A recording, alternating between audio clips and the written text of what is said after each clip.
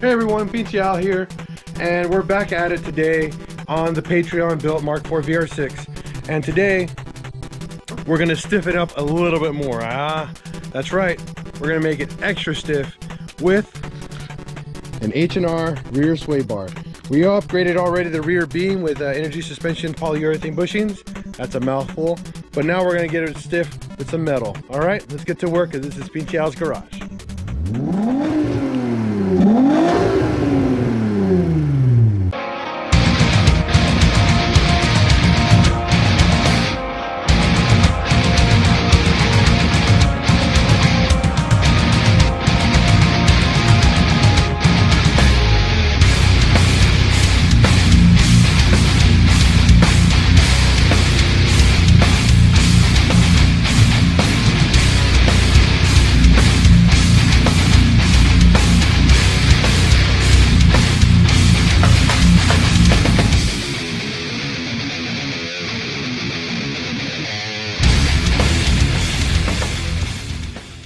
So today we're working with an H&R sway bar.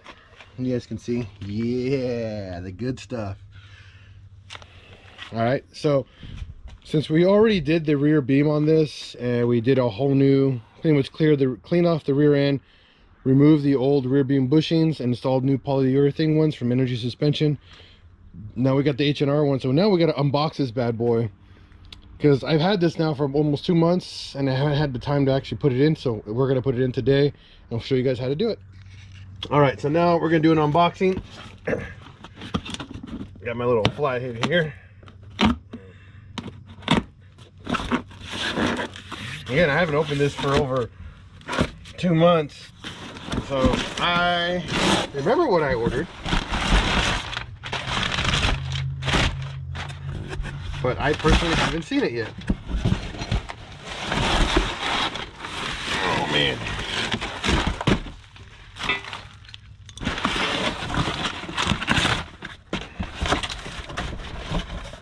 Let's see.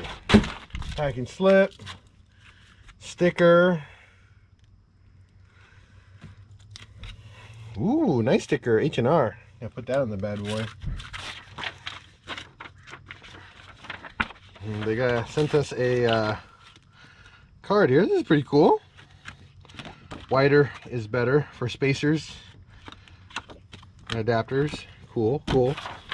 Um, technical information sheet. Um, pretty much on how to install it. Ah, this installs exactly like a Neuspeed sway bar. Very interesting. Okay. Oops warranty information okay we'll go through all that in a little bit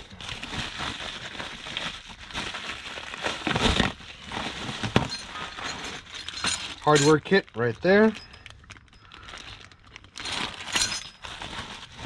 Ooh, I like the powder coating on this already. It's a nice blue.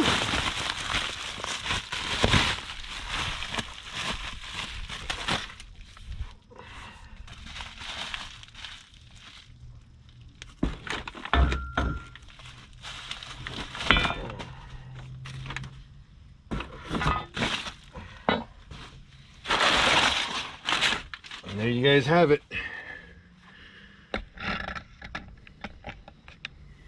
So this is what comes actually in the box that matters. These two pieces. Um, now the way that H&R and Neuspeed um, pretty much do their installs, they're pretty straightforward. Um, so this is the really important one right here. This is the, the bolts that um, are longer than the factory shock. So you're gonna need to get a uh, jack to put these on. So I recommend pretty much doing these first because that way the rear sway bar will be centered. Uh, this first and then put this on. Um, again, we'll see the instructions exactly how they want us to do it. But in my history of doing sway bars, uh, if they come with this style uh, mounting bracket, I always do this one first and then this second because this becomes a very, very big pain in the bootay.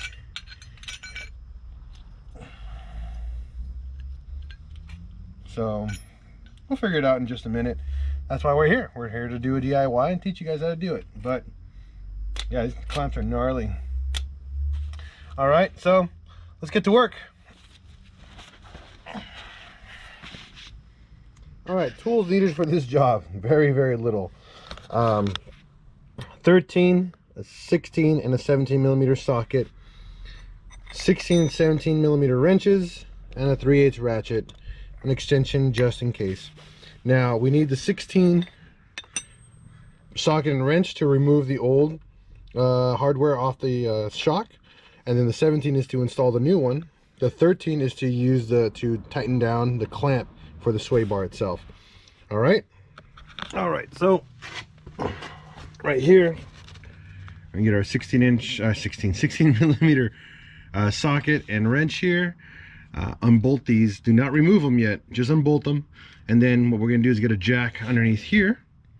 And we put a jack underneath here so we can uh, pretty much drop the amount of pressure on the shock. That allows us to pull the bolt out and swap out the bolt. Um, we're gonna swap one at a time. Um, the reason why you don't want the whole beam to drop on you.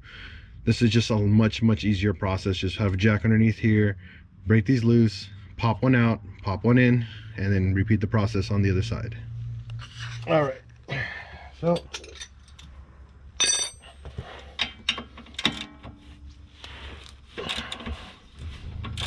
should get should break that nut loose then hold it down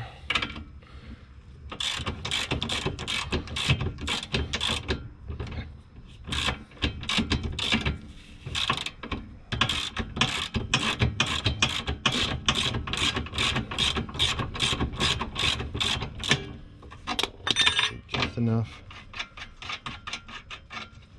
see we have the jack already on here so you notice that I can pretty much pull the bolt out with ease to a point. I'm gonna grab the new one in just a sec.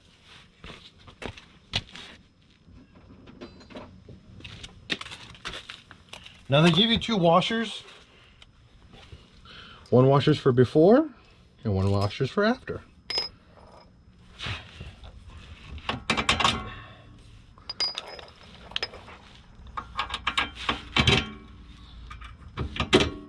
Just like that. Put this one after. And now you can drop that.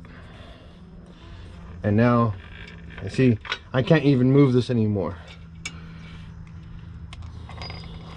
So that's how we did this side. Repeat the process on the other side and then we'll show you guys how to mount the sway bar on here. Now the sway bar won't be 100% mounted. It's just going to be on here just with the nut on here so it doesn't move around. The whole point is to get the uh, sway bar centered with the rear beam itself.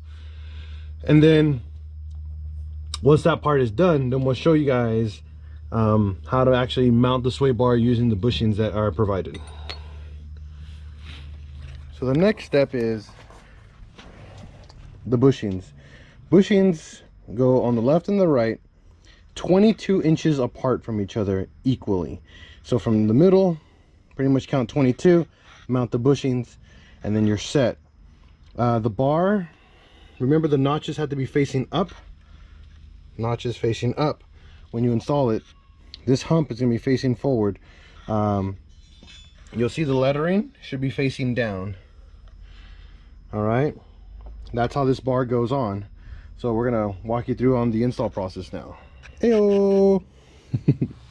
all right so grab the bar i'm not gonna drag it obviously get a piece of cardboard.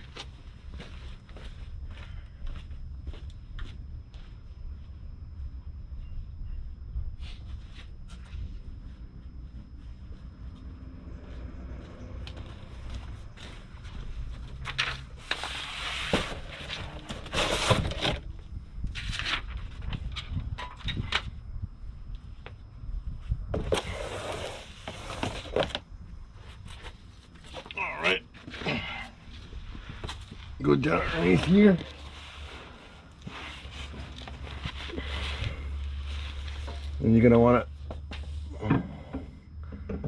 hoop it onto that.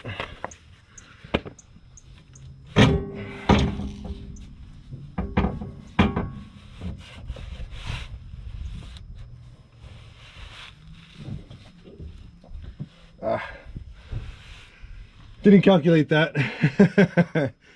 um, it's it's a really tight fit. So we got a this one over here. This uh, this suspension.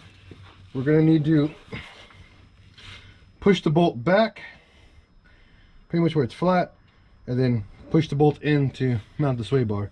And that should be it. I mean, nothing crazy difficult, but I didn't calculate that. so I'm gonna do that really quick.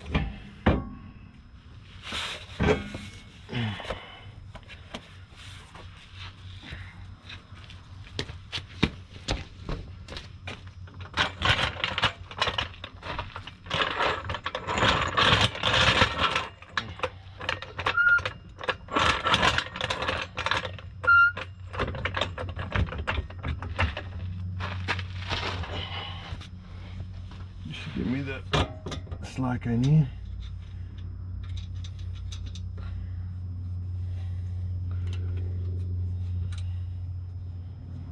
Okay.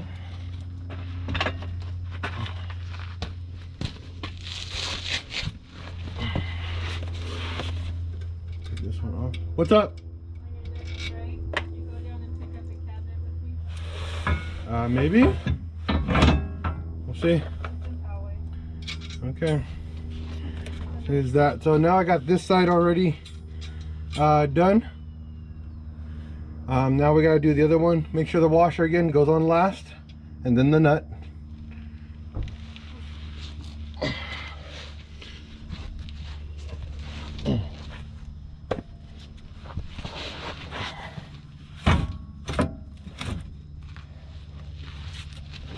Let's see here. Ah.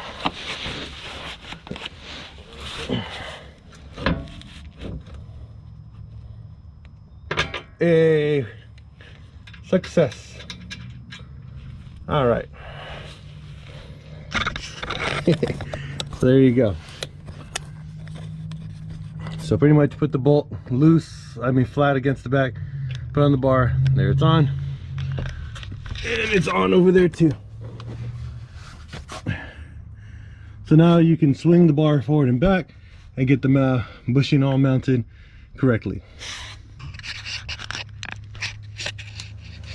all right we're back. Okay. So next is the actual sway bar itself. Being mounted really quick. Gonna put the nuts that are provided just on those bolts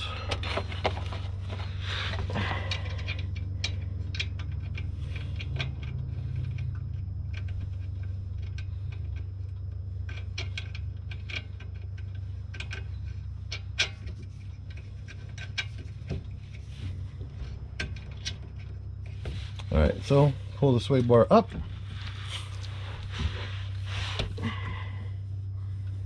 Okay, what's in the way? Okay, this is in the way.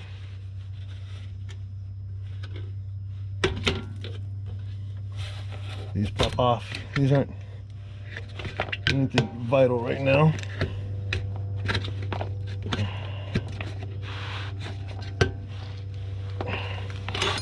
Just in the way.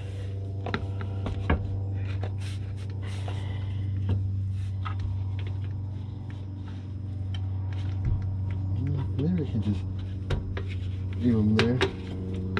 We'll just bend a little bit more. Okay, so now bar is here. And remember, from the middle, you need to go 22 inches in total separated. So the bushing here, and in the instructions does not state to lubricate the bushings. Uh, probably because these aren't, aren't polyurethane. So okay so all i'm doing right now is just putting the bushing on i'm not going to do any measurements yet i'm not at that point there um, just want to show you guys if there is a different orientation for this bushing because you can put them on two different ways. And in, in their instruction manual or piece of paper doesn't state which way is correct or wrong. I'm trying to see which one has the most surface area of the two. And it looks like mounting it this way is holding the most surface area of the bar onto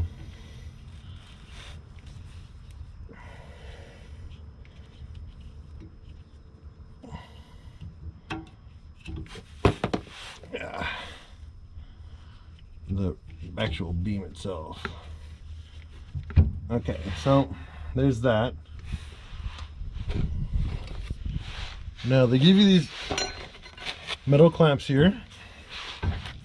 You got to open them all the way.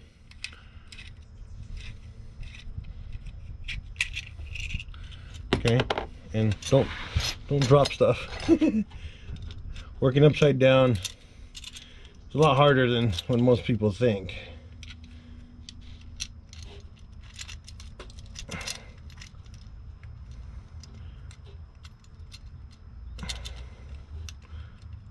One day I might get a lift. I don't like getting I don't like I don't like working on a lift just because not everybody can afford a lift. And I'm not I'm everybody. I can't afford a lift. I can afford the floor because it's free and I can afford cardboard because I get it from work because that's free as well. All right, so putting the beam bushing uh, bar back on. Now, these little uh, clamps here are evenly spaced, I mean are, are exact all around. So orientation is not affected in any way. So just put that sucker on like that. Okay. Now I'm gonna see if this will let me um, no, don't leave. I want to see if this will let me. Let's see. Yeah.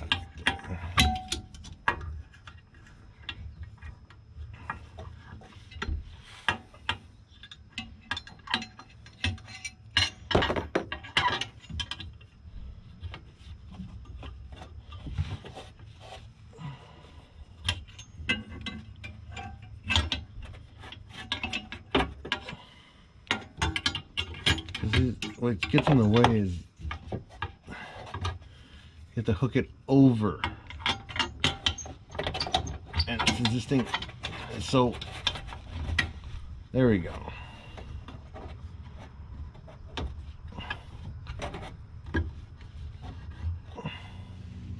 All right, so now we're back. So we now space the bushings 22 inches apart uh, from an outside of the outside of the bushing. I marked them.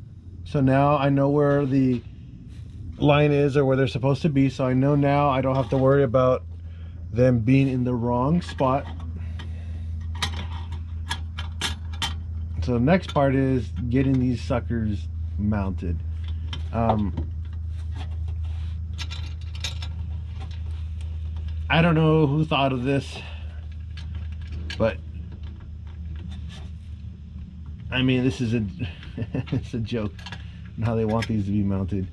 Um, you really gotta get, uh, pull super hard on these brackets if you want them to not um,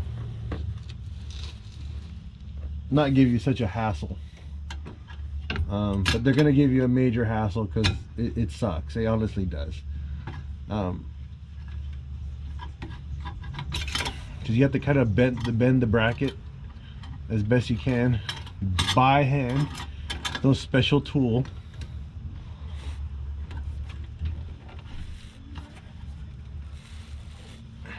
And you'll see like there's a fat gap here.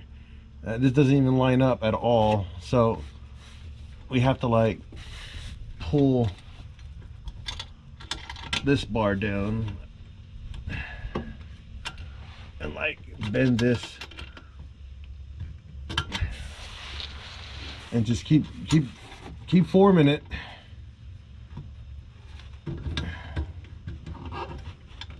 you get it where it needs to be.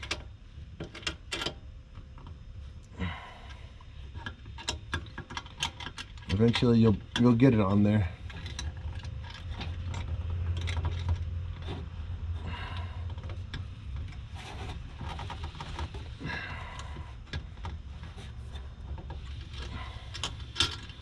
There we go. That looks good. I'm going to confirm it with the sheet.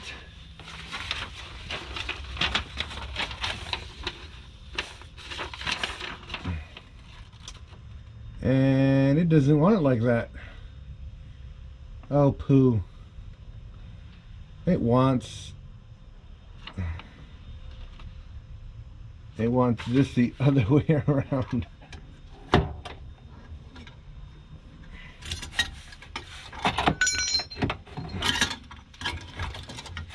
Ah, this is such a cockadoodie. So it wants this bolt facing the other way around.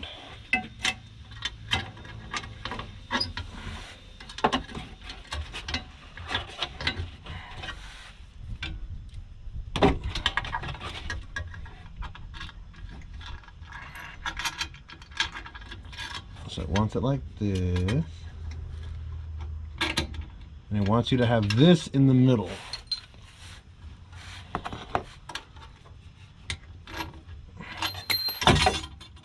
Jimmy Willikers. You're gonna watch me struggle for a bit. Because this is stupid.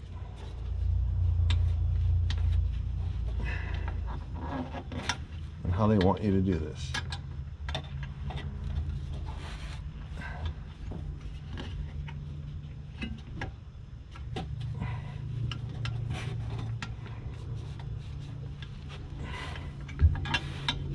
Okay.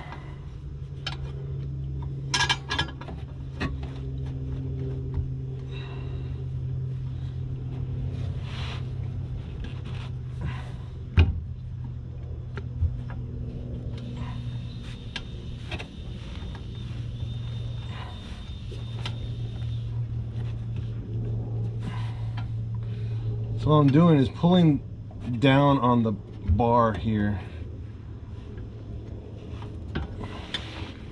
So I'm trying to do is make more slack as it goes down and it's it sucks man. Thank you H&R for a very very difficult product to install. Hopefully it makes a big, that makes a difference. I know they do but you know it's a lot of work for two bolts.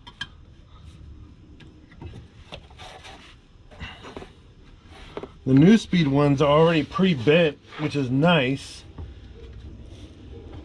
to the shape, and you just manhandle them in. That's it.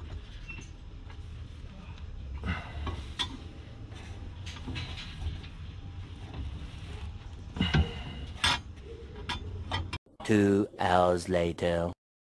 All right, guys. Finally done on both sides. Talk about a pain in the booty. Um, so, again, what we ended up doing is getting the straps, or not the straps, but the clamps flattened out, put over, bent straight down, and then try to forcibly thread them on. As you can see, they're both on. Um, you'll see on there and on over there. They're both there. Um, this job should take technically, all right, technically two hours tops.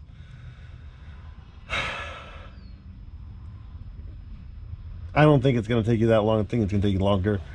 Um, and the reason behind it is these clamps are not, again, not meant for this pro uh, this this procedure.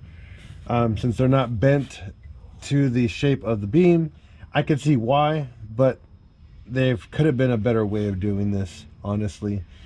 Um, I know I'm ranting, let's get, just end it, but again, straighten out the clamp as good as you can, bend it over, uh, thread it on, and kablam, you got it on. Um, torque specs to the rear sway bar uh, pretty much are the same torque specs of your shock mount, so we'll give you guys that information.